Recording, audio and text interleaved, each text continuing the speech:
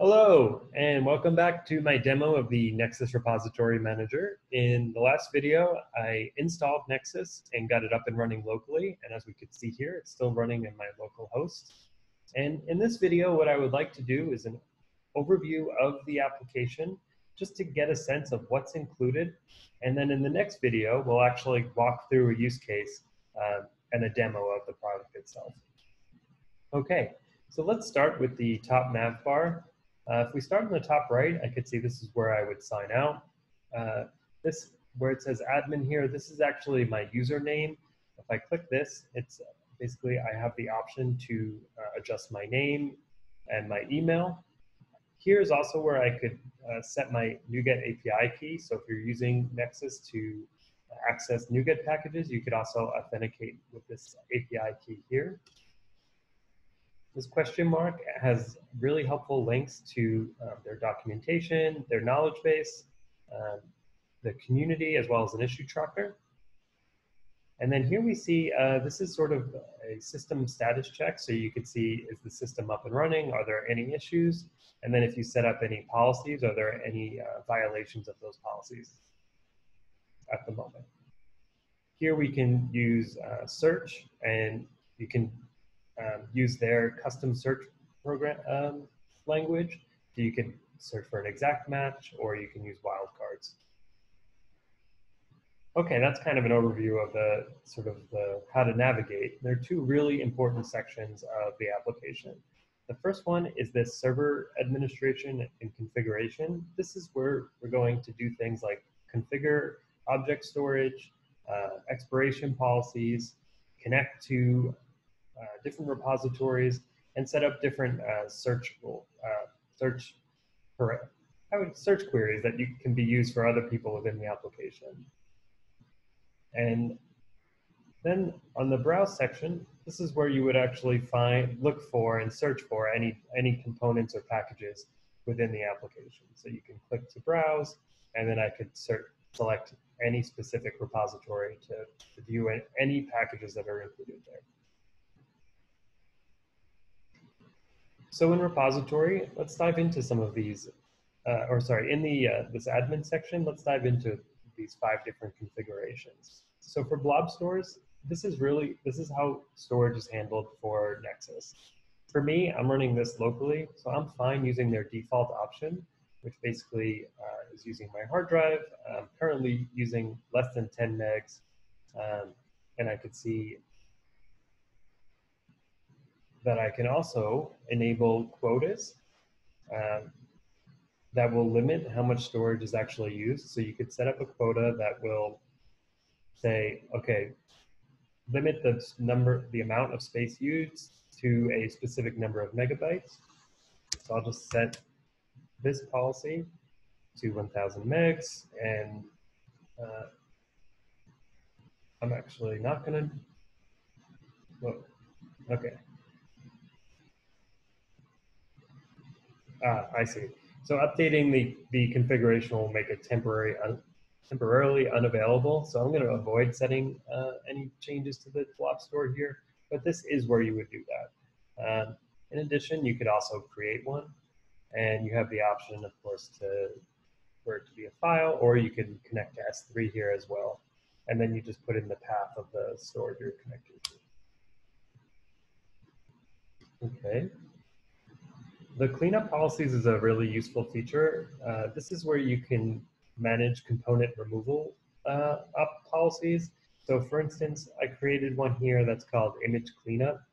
And let's add a note here that says cleanup or remove any images that are old not useful. So the criteria here is to clean up any images that were removed or components that are more than 30 days old and match the name dev. This is a really nifty feature. You can say to publish before or last downloaded before, and you can also use regular expression to match the component names. You also have the option to preview results and then of course save, save it. So I'm gonna discard my changes there you could create a new cleanup policy and it's uh, basically the same thing that we just went through, so I'm not going to go through it now. Um, let's go back here and see what's next. So next we have our repositories. So let's look, take a look at this table. Um, one, we have the option to create here. You can also search and, and filter based on name. But what we see here, let's look at the Maven examples. We see a few different Maven repositories, one called Central, Proxy, Public, Releases, and Snapshots. And then for types, we see proxy, group, and hosted. So what Nexus does is the, a hosted repository is one that's hosted locally as part of your Nexus application. So this would be a private repository that you and your team have access to. They also give you the option to proxy other repositories. This could be something like Maven Central or any really, any, any repository that you want to proxy and mirror and make available. The reason that you would proxy these requests or these repositories is so that you can uh, give people a single endpoint for accessing all of your packages without having to worry about managing um, that logic in every developer's uh, settings file. Um, so we see here, then there's this third option, which is group. A group is a, is a combination of hosted and proxied repositories. So I could see here that this group includes Maven releases, Maven snapshots, and Maven central.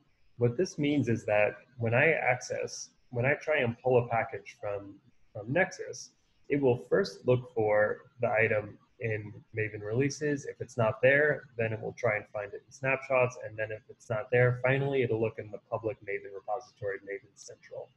And now you can set an arbitrary number of uh, repositories to this and maintain the logic. If you were trying to do this without a repository manager, you would have to have each developer maintain a very specific settings.xml file with that uh, repository order in place. And the reason that applications like Nexus exist is because that's difficult to do, especially when you have large teams. Okay, let's go back to the repositories. You can also, when you're here, you could see, uh, you could filter on format, uh, status. You can very quickly copy the URL. So if you're trying to just copy that, you can easily share it. And then they have some uh, security features here as well. So you can analyze your repositories, and then you can see if there are any violations if you have Nexus IQ. Uh, Nexus IQ allows you to set up rules and policies for preventing any malicious software from making its way into your uh, into your software. Okay, then we have routing rules. So routing rules are ways of setting up access and permissions to different repositories. So you can create uh, routing rule um, based on really any criteria and set up tests. It's a pretty cool way of setting up um, uh, security protocols. And then they have something here called content selectors. And what this is, is really is a way of searching for um, specific components within Nexus. Uh, Nexus gives you the option of using something that they call CSEL, which is uh, their version of, uh, I don't want to call it SQL, but it's their way of searching for packages within Nexus.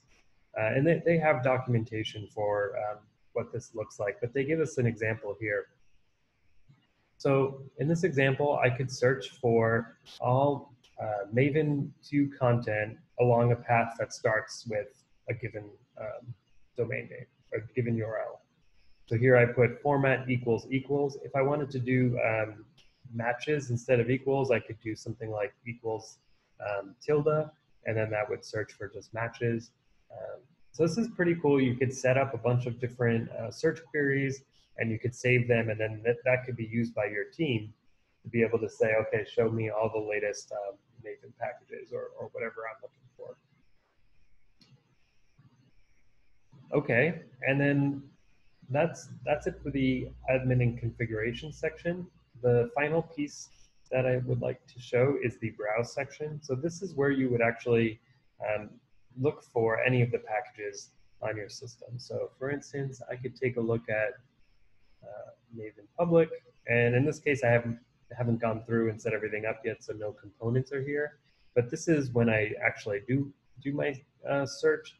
I can find any of my components here and it will have uh, details about them. So for that piece, um, stay tuned for the next portion of the video in which we will um, go through the remainder of the application. We will set up an, a remote NPM, uh, proc will proxy the public NPM registry.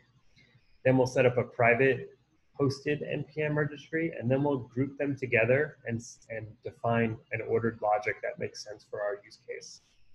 So stay tuned for that next video, and uh, I'll look forward to sharing.